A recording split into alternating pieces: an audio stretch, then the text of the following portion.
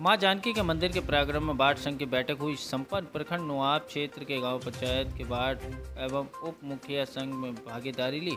संघ में जानकारी मिली कि मुखिया का आयोजन योजना पास हो जाता है और बाढ़ सदस्यों का कहना है कि हम लोग भी 500 से 900 लोगों को जनता को जिताकर अपने बाढ़ में आशा लगाकर बाढ़ से जनता का काम खोजते हैं।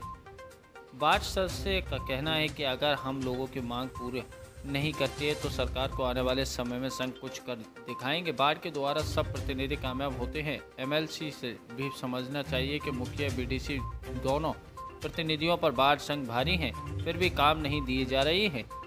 संघ अध्यक्ष राम व्यास उपाध्याय का कहना है कि हमारा मांग पूरी करें। जो अभी वर्तमान जब मीटिंग इस पे रखे हैं वार्ड के जी। तो वार्ड संघ के बारे में क्या कहना चाहते हैं? वार्ड संघ के बारे में हम लोग अपना कई मुद्दा रखे हैं। हम्म।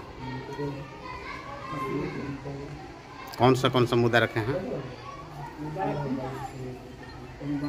तो याद है नौ सूत्री मांग करे। नौ सूत्री मांग होगी अच्छा ये जो संघ में आपका पद कौन सा है? अध्यक्ष का पद है। यानी नुआ प्रखंड के अध्यक्ष हैं वार्ड सदस्य का। जी। आपसे हम पूछना चाहते हैं इससे पहले भी अध्यक्ष थे आप? जी। तो जब इससे पहले अध्यक्ष थे उस समय हम देखें कि लास्ट में डेढ़ साल या दो साल रह गया तब वार्ड लोग को काम मिला। और वही ये इस परिस्थिति में चल रहा है कि अभी नौ महीना या आठ महीना बीत चुका है। अभी ये वार्ड का कोई माने समस्या समाधान नहीं हुआ। इसके बारे में आप क्या कहना चाहते हैं? इसके लिए हम लोग प्रदर्शन करेंगे। हम लोग को हम लोग बैठक करेंगे उसमें हम लोग अपना प्रस्ताव रखेंगे।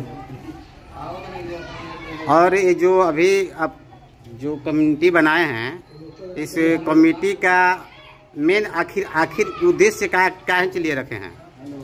हम लोग सरकार से लड़ाई लड़ने के लिए रखे हैं। सरकार से लड़ाई लड़के अपने कार्य को हम लोग मांगेंगे। इसके पहले तो आप भी सरकार की लड़ाई लड़े होंगे? जी हाँ उसमें- लड़े थे। हाँ। दो साल तक लोग मुखिया लोग लड़े और लड़ने के बाद हाई कोर्ट के फैसला के बाद तब हम लोगों में पैसा का कार्य शुरू हुआ। और इस बार उम्मीद क्या रखे हैं? हम उम्मीद रखते हैं कि हम लोग जितना जल्द से जल्द हो सकेगा इस कार्य को सफल बनाने का काम करेंगे। अभी सात निश्चय योजना का अभी हम सुन रहे हैं किसी के माध्यम से कि वार्ड का कुछ भी इसमें महत्व नहीं है। अभी एक आ रहा है जो कि पार्ट टू सात निश्चय योजना का। इसमें कहाँ सत्य है? तो अभी इसमें किसको सत्य कहा जाए अभी तो हम लोग अपने लड़ाई पर हैं। लड़ाई के माध्यम से जैसा निर्णय होगा उस समय भी लोग मुखिया लड़ रहे थे हम लोग लड़ाई में सफल हुए। और आपका नाम? हमारा नाम श्री राम व्यास उपाध्याय है। और आपका नाम? शिवशंकर राव। किस पद पे हैं? उपाध्यक्ष पद पर है। और आपका नाम? रमाश्रय पाल है। रमाश्रय पाल। सचिव के पद पर नियुक्त किया गया हूँ। ठीक है और आप? मेरा नाम धर्मेंद्र सिंह है। हम्म। अध्यक्ष ठीक है और वार्ड को एक सूत्र में लेने के लिए एक यूनिटी आप बनाया है। जी।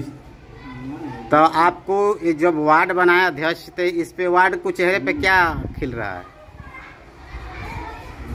सब लोग खुशहाल हैं। खुशहाल हैं कि लड़ाई लड़ेंगे। जी। ठीक है बहुत बहुत धन्यवाद।